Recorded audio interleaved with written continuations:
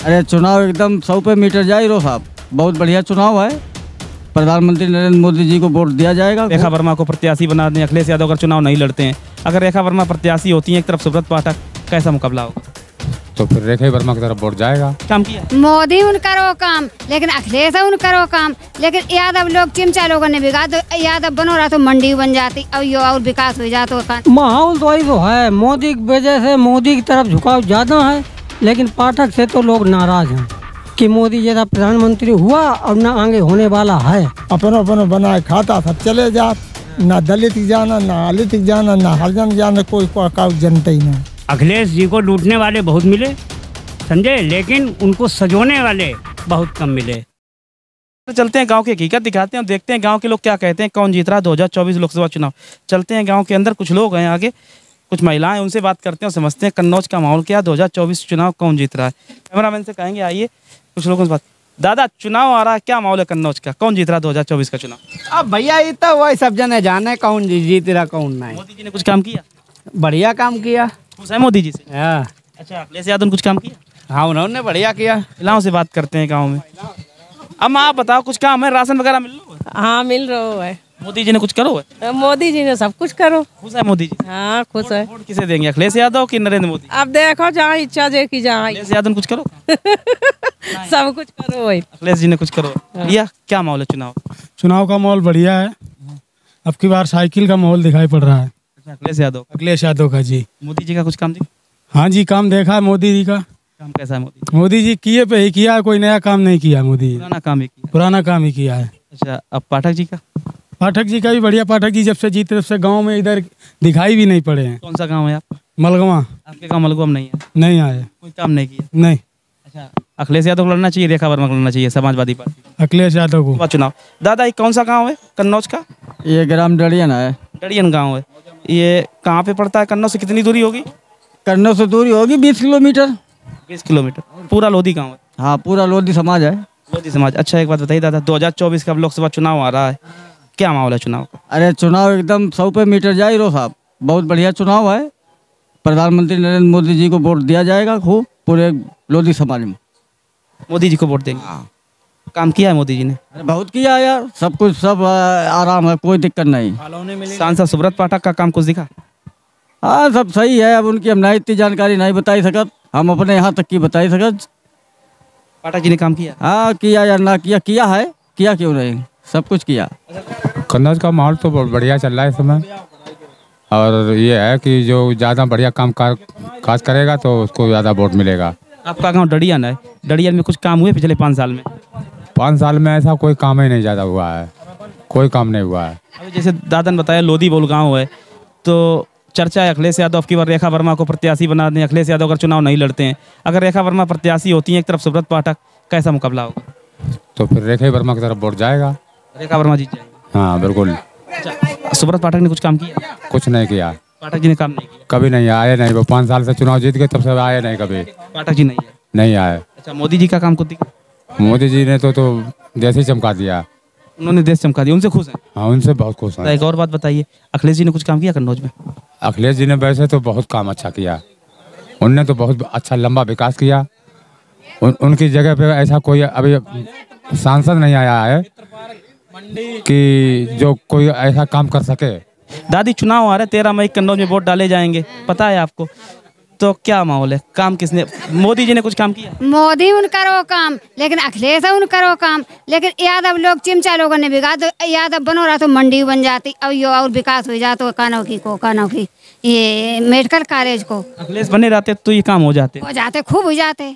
लेकिन काम नहीं हुए। काम नहीं हुए बात सही काम नहीं हुए। और ये सब कहना की ये मंडी बनबे खती भाव हो जाती। सब कुछ बन जातो ठटिया मंडी बनी अच्छी बनबे खती भाव नहीं बनी लेकिन मोदी ने सब काम बेकार कर दो वैसे मोदी सब काम करे हैं। करे कन्नौज में काम नहीं करे।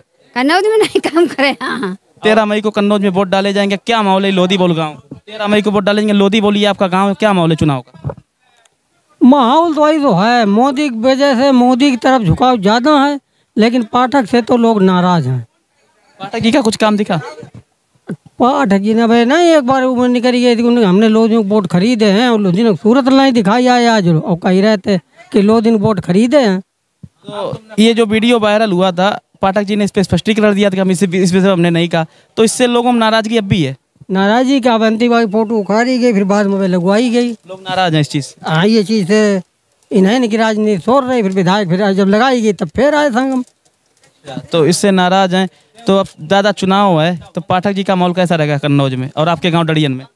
अब डरिए ना भाई तो मोदी की वजह से वोट तो उन्हें ही मिले हैं लेकिन थोड़े बहुत कटिए अगर हाँ मोदी के नाम से मिले हैं पाठक की वैल्यू नहीं है कि मोदी जैसा प्रधानमंत्री हुआ और ना आगे होने वाला है। अपनो अपनो बनाए खाता सब चले जात। ना दलित जाना ना आलित की जाना ना हरिजन जाना कोई को काउ जनता ही नहीं। कोई मतलब चुन, चुनाव हो जात वोट लेके चले जात फिर दोबारा हाथ ना दु- दोबारा कौन ना होता है समय बताओ मैं। अच्छा अब दादा जैसे कि अब जैसे चुनाव है एक तरफ़ अखिलेश जी पाठक जी मायावती चुनाव लग लड़ रही। तो अब बताबो आप मतलब का माहौल है कन्नौज को? मतलब जो को हाल यो ही है जो अगर मायावती ठाड़ी भाई। तो भैया हम तो हरिजन आदमी उन्हें दी वोट। दलित समाज से हैं। हाँ। आप उन्हें दे देंगे? और किसों की दैया में? हाँ, कोई गिनती नहीं करत मतलब गिनती कहने का गिनती करत का हमें मिलत है हमें समाज पेंशन मिले ना हमें कुछ मिले जहाँ बंधाओ तो वो नहीं बंधत पेंशन नहीं मिला था? ना। दादा दलित समाज पिछले जो 2019 का चुनाव अ, अ, भव तो जिसमें मायावती के साथ अखिलेश जी ने गठबंधन करो तो तो उसमें फिर दलित समाज ने तब कहाँ वोट दो तो? 2019 वाले चुनाव तब भैया इकट्ठी वोट उन्हें नहीं दे दोनों जने। साइकिल में दे दो हाँ। टीम पल तो हारी हाँ हारी गए तो फिर क्या करें? लेकिन अब की बार मायावती अब भैया गिनती कहूँ होता ही नहीं तो फिर कहाँ जाए बताओ? इसी वजह से मायावती ना भाजपा में ना। सपा में। हाँ। मायावती मायावती अच्छा दादा चंद्रशेखर रावण को जानते हैं? नहीं हम नहीं जाना। दलित समाज की वो भी नेता हैं। वो वो भी चुनाव लड़ रहे हैं। नगीना से लड़ रहे हैं चुनाव। सहारनपुर के हैं। मायावती पार्टी में थे अब अलग हैं अपनी अलग पार्टी बना ली भीम आर्मी। हम्म। वो कह रहे हैं कि मायावती चुनाव नहीं लड़ती घूमती नहीं है जनता के बीच में नहीं जाती। इस वजह से बसपा का जो काशीराम जी ने एक मूवमेंट बनाया था वो धीरे धीरे खत्म हुआ जा रहा है। ऐसा है क्या? जो काशीराम ने बसपा बनाई थी वो बसपा आज भी वैसी है कि मायावती ने थोड़ी कमज़ोर कर ली अपनी बसपा। मायावती कमज़ोर दिखाता कमज़ोर दिखाती। इसी वजह से भाजपा मज़बूत हाँ। मायावती अगर मजबूती से लड़ जाए तो कमज़ोर मतलब बस तो चुनाव थोड़ा अच्छा हो जाए। कैसा माहौल है कन्नौज का? कन्नौज का माहौल सही है। कौन जीत रहा है? अब इसके बारे में तो नहीं जीत हार के बारे में हम नहीं बता सकते हैं। कौन जीतेगा कौन हारेगा। लेकिन केंद्र के बारे में यदि हम हमसे आप पूछें तो केंद्र में मैं यही बताऊँगा कि मोदी जी की सरकार ही बनेगी। मोदी जी का काम अच्छा लगा। बिल्कुल मोदी जी का काम हमें अच्छा लगा। नहीं योगी जी का भी काम अच्छा लगा। जो डबल इंजन की सरकार दावा करती है डबल इंजन का काम अच्छा है। हाँ बढ़िया काम कर रही है। पाठक जी के आपके मौजूदा सांसद उनका काम कैसा लगा? पाठक जी ने तो मेरे गाँव की ओर कतई निगाह करके ही नहीं दे अखिलेश जी को लूटने वाले बहुत मिले समझे? लेकिन उनको सजोने वाले बहुत कम मिले। दादा आप तो एक तरफ़ पाठक जी हैं बसपा से अकील अहमद पट्टा हैं सपा ने अभी अपनी टिकट टिकट डिक्लेयर नहीं की। अब चर्चा अखिलेश यादव अगर नहीं लड़ते हैं तो रेखा वर्मा चुनाव लड़ेंगी। तो रेखा वर्मा को लड़ना चाहिए कि अखिलेश यादव को खुद चुनाव लड़ना चाहिए? आपके हिसाब से क्या होना चाहिए?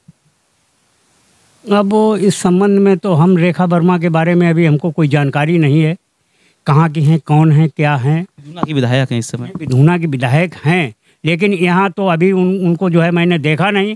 न ही उनकी कहीं पर चर्चा हुई ना उनकी कोई मीटिंग वीटिंग हुई है। अखिलेश यादव को लड़ना चाहिए कि रेखा वर्मा वैसे अखिलेश जी को लड़ना चाहिए। अखिलेश यादव लड़ते हैं तो सीट निकाल। अब सीट निकालने वाली बात तो हम नहीं कह सकते। मामला फंसेगा। मामला फंसेगा। कांटे की लड़ाई होगी। एक तरफा नहीं होगा। तरफा नहीं होगा। अच्छा मोदी जी ने काम किया लेकिन फिर भी यहाँ अखिलेश जी लड़ जाते हैं तो मामला फंस जाएगा।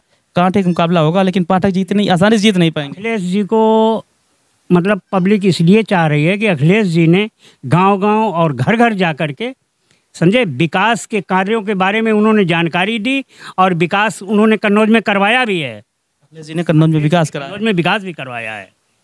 पाठक इतना नहीं कर पाठक जी नहीं पाठक जी ने उतना नहीं करवाया है।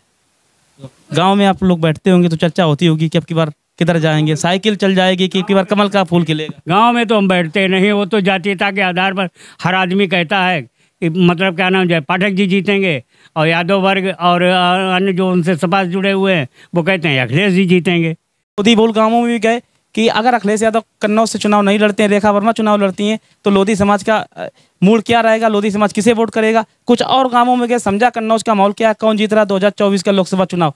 तो ऐसे ही हमारी पड़ताल जारी रहेगी, दिखाते रहेंगे कि कन्नौज में कौन जीत रहा है, क्या है कन्नौज का माहौल और किसकी बन रही है सरकार। तब तक के लिए देखते रहिए हमारे चैनल डी भारत न्यूज़ को। मुझे यानी सौरभ सप्ताह को आज के लिए दीजिए इजाज़त। अगर आपने फेसबुक पे चैनल को नहीं फॉलो किया तो फॉलो कीजिए यूट्यूब पर सब्सक्राइब कीजिए। कैमरामैन मोहित के साथ सौरभ सप्ताह कन्नौज।